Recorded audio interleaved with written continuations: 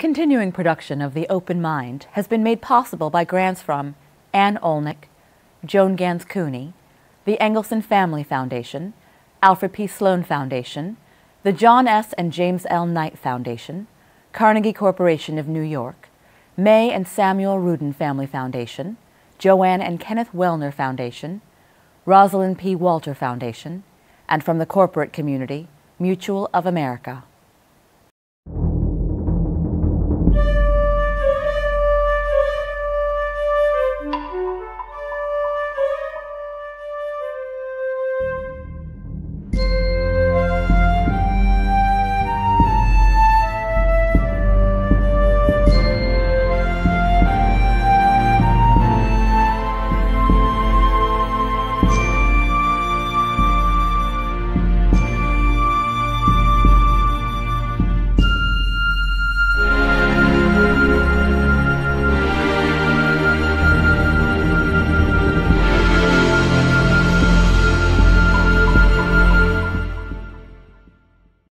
I'm Alexander Heffner, your host on The Open Mind.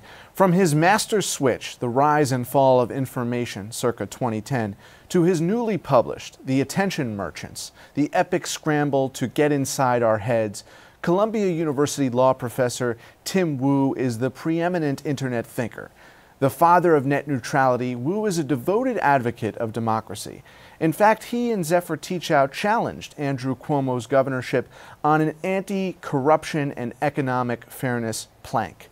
While their candidacy did not prevail, it was the most visibly contested gubernatorial primary with an incumbent in recent memory. For now, Wu has turned his attention anew to these mercenaries of advertising, from analog to digital monopolies of information power. Booklist calls his book an urgently needed national and global conversation. Wu is studying the seemingly inescapable advertising saturated culture. Indeed, clickbait that surrounds us is the new normal, as is the absence of regulation in a revenue making formula, the financial gain on which powerhouses like Google and Facebook thrive. Even as we may think we're tuning out the ads, they no doubt have altered and perhaps undermined the potential of our civic consciousness. And that's what we're here to discuss. Yeah. Tim, a pleasure to finally meet you. Likewise. How have the attention merchants stunned, if they have, our civic growth? You know, I think they have completely affected how we live day to day life. Um, I don't know about you, but I, most of us are subject to thousands, if not tens of thousands, of appeals, solicitations, little efforts to gain our attention every day. Facebook updates, emails, you, you name it. And I think in that kind of context, where our attention is so uh, uh, captured or so uh, contested, the sort of normal um, civic discourse that you imagine in, in a democratic system is hard to maintain. How should we try to maintain it? Uh, you know, it's, it's a hard question. It's always been the, a question of how do you battle uh, consciousness. But I think one of the things I say in the book is that it is important if we're going to have an informed and educated citizen, citizenry that we have more control over our attention, if that makes sense. If that we choose to use this resource. I mean, this, what I mean by that is our time, you know, 168 hours a week that we have, and spend it how we really uh, want to spend it. And one of those things is spending it on uh, not whatever comes to you, but you know what you really want to read, the movies you really want to watch, the news you really want to read, as opposed to kind of just uh, letting it become dissipated away. Where do you see in this digital paradigm the right relationship between the advertisers and their readers? Well, it is whatever it is. It's not what we have right now. I think we've kind of hit, especially with the web, uh, we've hit a hit rock bottom. I, I, I, like to think we're in this kind of war between readers who are um, increasingly frustrated with, with the number of ads, with you know stuff clogging their sites, clickbaity content, and advertisers who are absolutely desperate to reach people. And uh, they, they, can't, uh, they, they can't get people to sit still for ads. And so their ads become ever more intrusive, ever more privacy uh, intruding. At the same time, just to, to add to this further, there are demands on growth of Facebook, uh, Twitter, Google, so they have to increase their ad load, increase their revenue. So we're sort of in this terrible standoff where the web keeps in some ways getting worse. I mean, you think about the web over the last five years, a lot of the sites have actually gotten worse instead of better as they've become a better platform for advertising as opposed to better for the users. So we're in a bad place, and one of the things I call for in this book is we kind of need to, to, to fix it, reboot. I don't know what it is, but save the web. Save the web. Yeah. What is the most likely prescription uh, that is within reach? And I say this knowing from the book and your history that you are a pragmatic advocate of digital equality, digital literacy. What, if anything, do regulatory mm-hmm. organs right. do to protect the actual democratization? Right. You know, I think it doesn't start there, but starts with what you said, which was the, with the business models. So the web was this you know, tremendous invention, the internet before it, but the web in particular, tremendous invention uh, with a lot of promise. Um, idealistic in its way. Uh, the idea is connecting anyone who wants to share information. The problem is that almost all the sites have decided that they uh, only their only model is a high growth uh, revenue quarter doubling every year or so forth kind of business model through advertising. And if you're going to have that business model, if you're going to promise your investors, I'm going to double your revenue, you know, every X years or every, maybe every year, it means you have to constantly make your product worse for users and better for advertisers. And so we've seen, you know, over the years, uh, look at YouTube. YouTube, it was better just a few years ago. Now it is loaded you know, Google itself is getting heavier and heavier with ads, and the demands are getting stronger and stronger. The sites and the web get worse. Uh, I think you, you put your finger on the button. I, I, don't think the first response is, you know, regulatory, uh, you know, here's the rules of the web. Um, I think the first response is a profound rethinking of the business models uh, of the major companies. Uh, Wikipedia, you know, it's not perfect, but has sort of maintained its character over the years. It's a nonprofit. Uh, Twitter is currently in trouble, for example, because they only make a, you know, a billion dollars a year. A billion dollars a year is a decent amount of money to sustain you know, a company that basically, what do they do? Distributes conversations.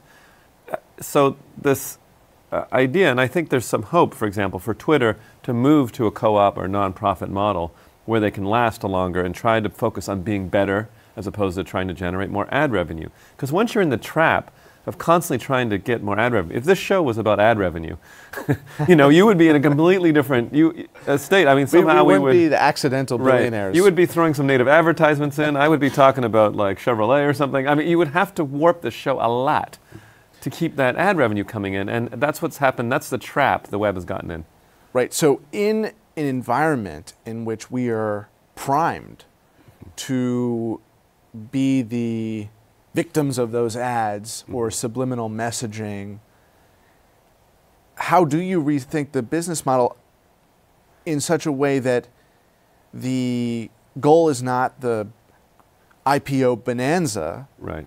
but preserving a communications apparatus that is going to serve the best interests of the country.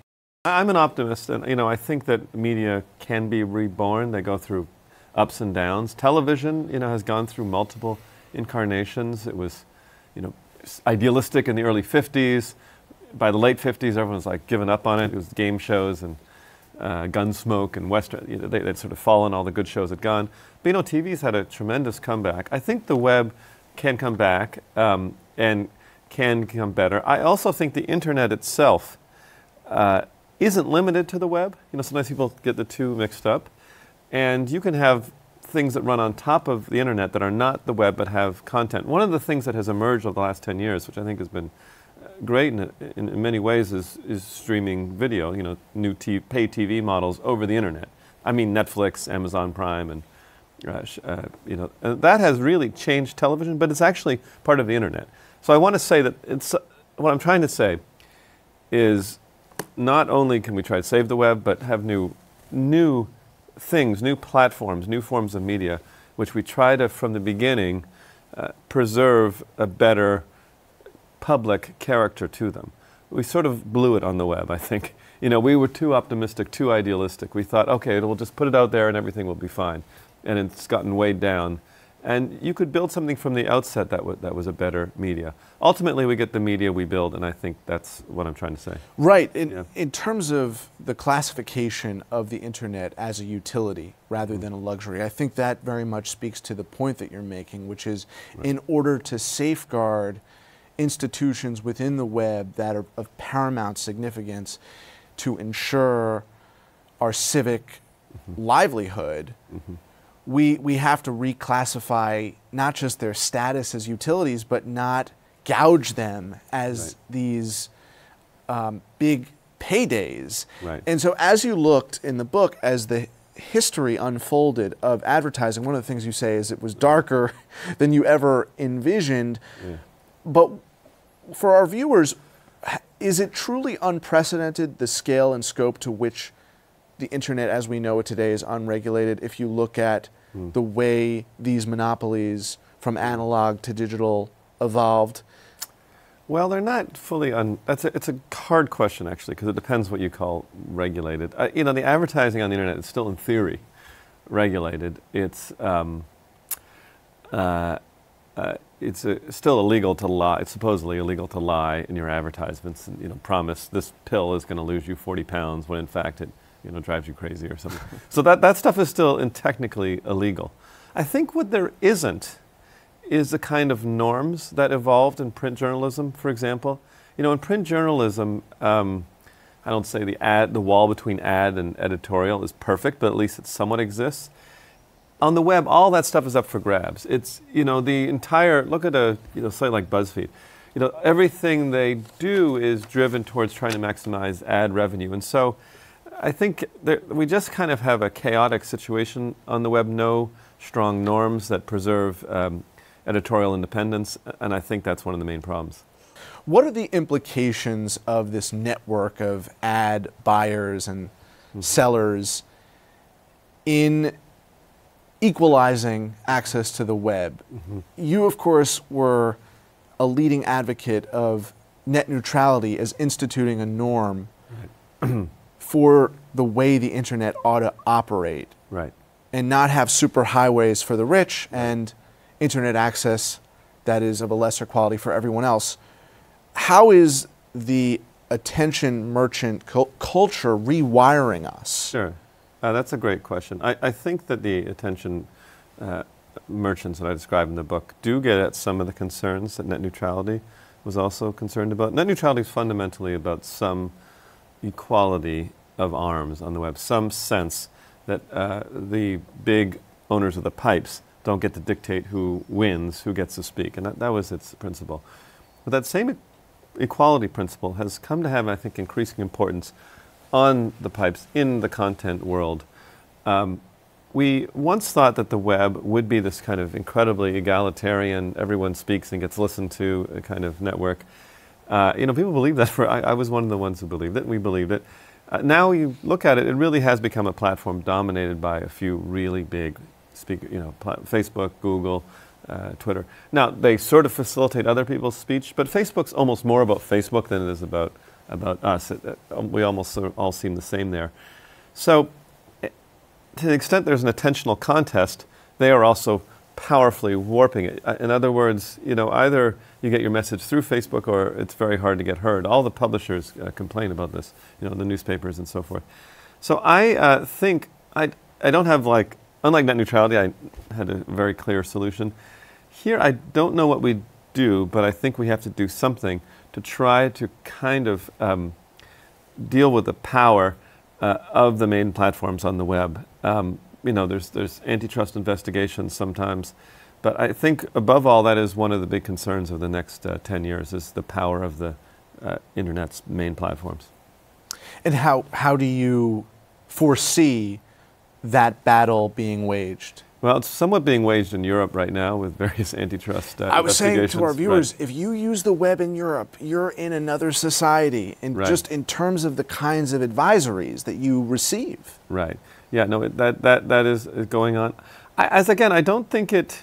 I'm not uh, of the belief there's a one you know one silver bullet legislative solution to this challenge. Essentially, I mean, this book is about our attention, our moment-to-moment experience. It's a very subtle thing, and so part of what I call for in the book is you know, ourselves kind of taking uh, our own control over your attention, being more conscious about how you spend your time. So I don't know if you've ever had this experience. Uh, you, you decide you're going to write an email, and you go to your computer, and then like three or four hours later, you clicked on a million links, and you just kind of lost yourself. I think this happens to us a lot. I think we're always kind of losing control of our attentional autonomy. And part of what I call for in this book is, is reclaiming that. And I don't think like a bill of Congress can reclaim your consciousness for you. Uh, it would be nice if it could. I think we have to limit the power of the main players.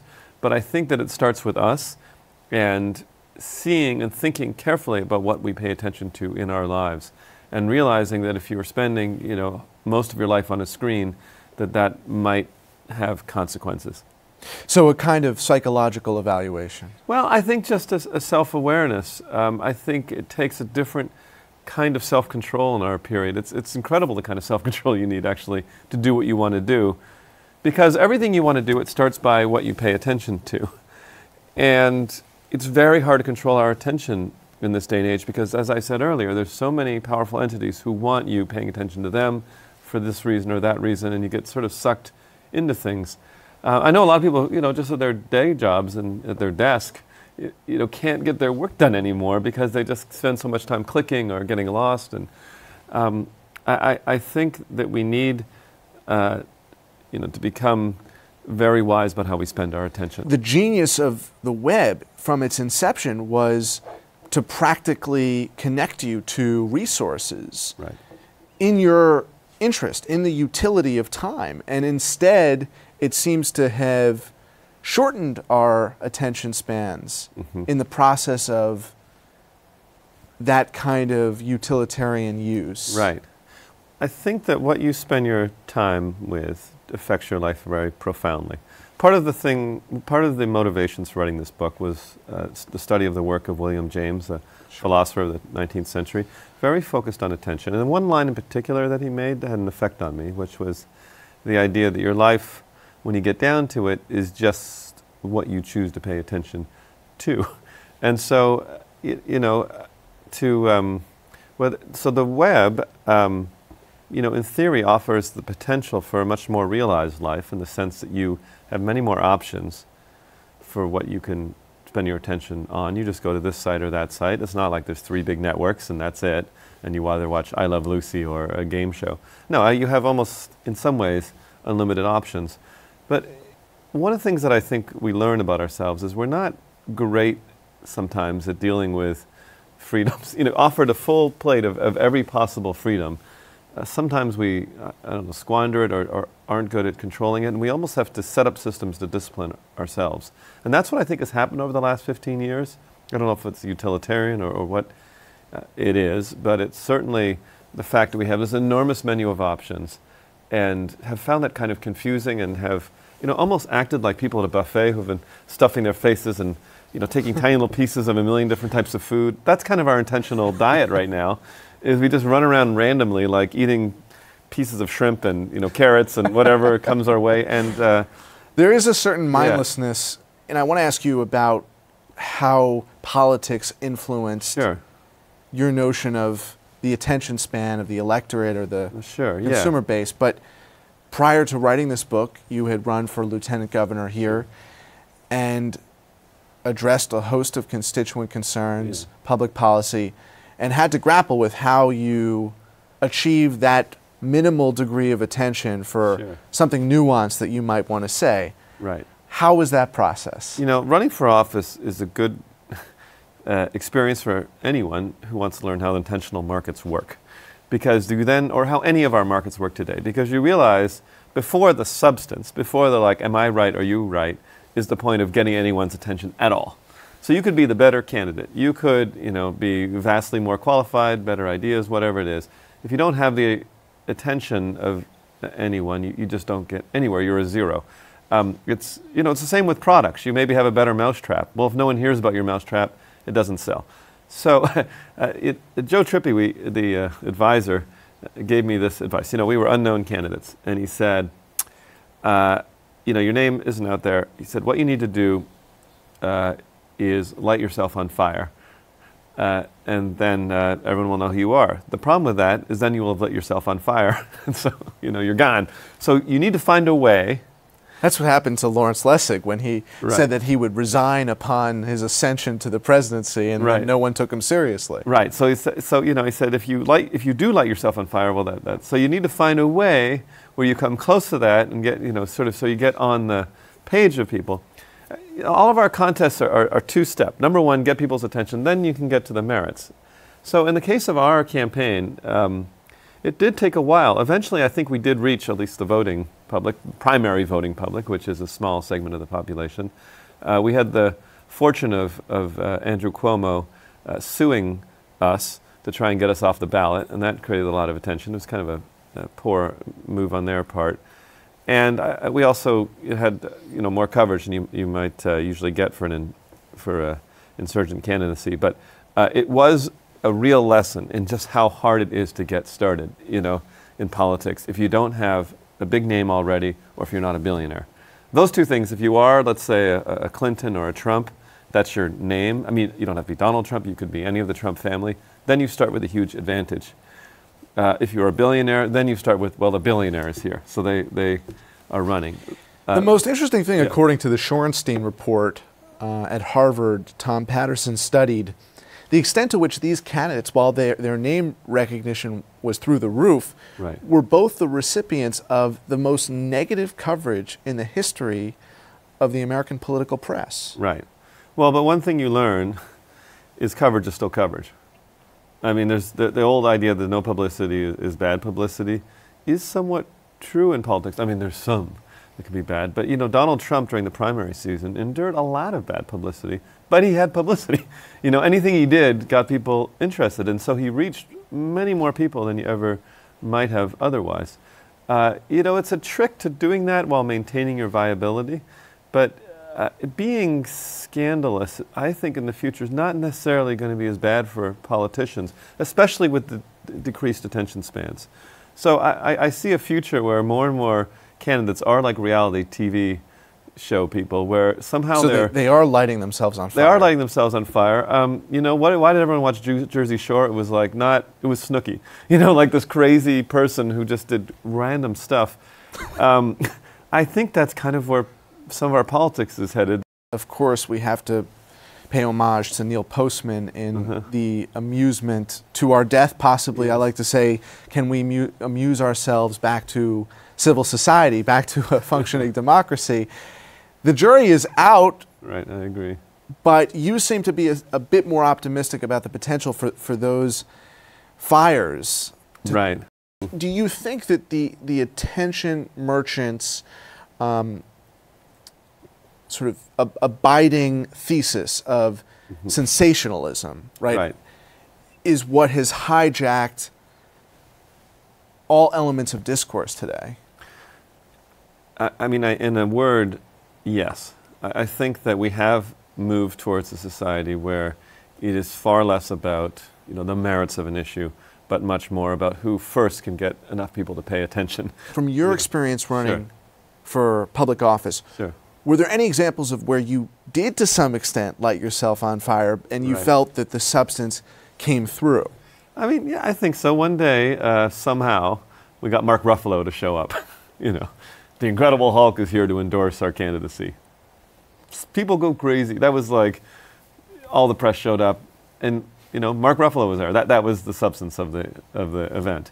We were talking about fracking, so that was an important issue.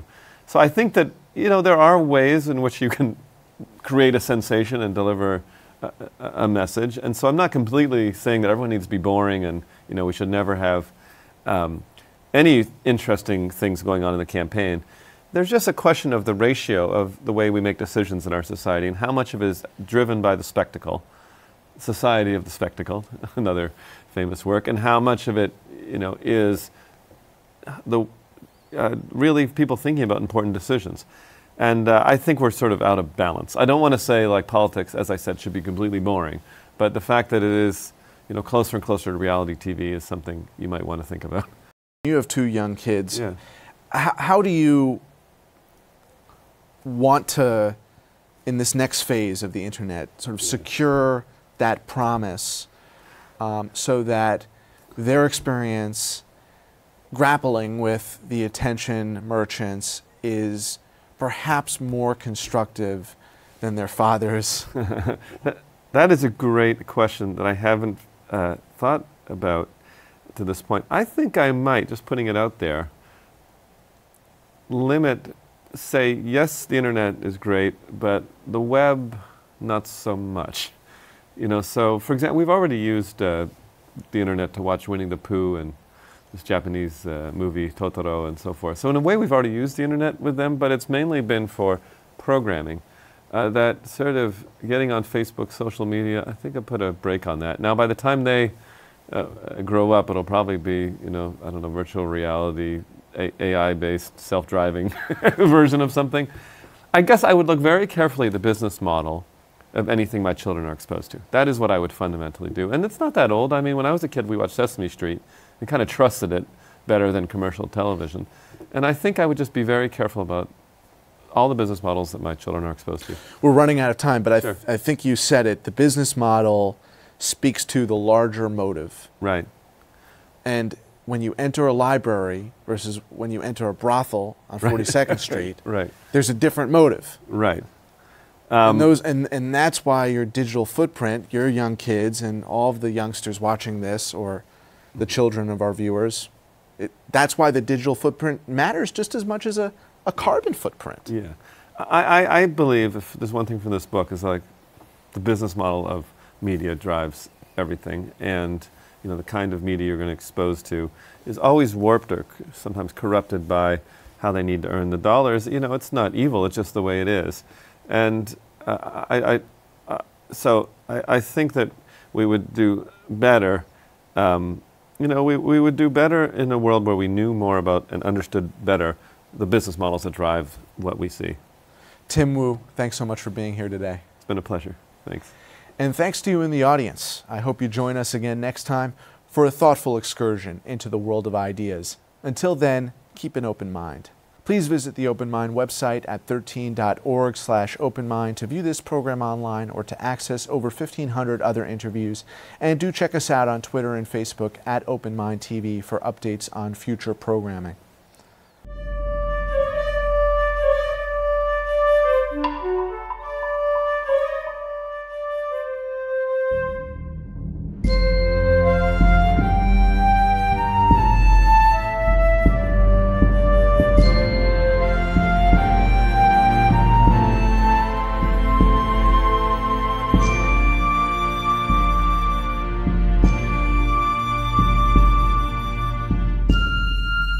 Continuing production of The Open Mind has been made possible by grants from Anne Olnick, Joan Gans Cooney, the Engelson Family Foundation, Alfred P. Sloan Foundation, the John S. and James L. Knight Foundation, Carnegie Corporation of New York, May and Samuel Rudin Family Foundation, Joanne and Kenneth Wellner Foundation, Rosalind P. Walter Foundation. With special thanks to the Schumann Media Center for additional support and to the corporate community Mutual of America.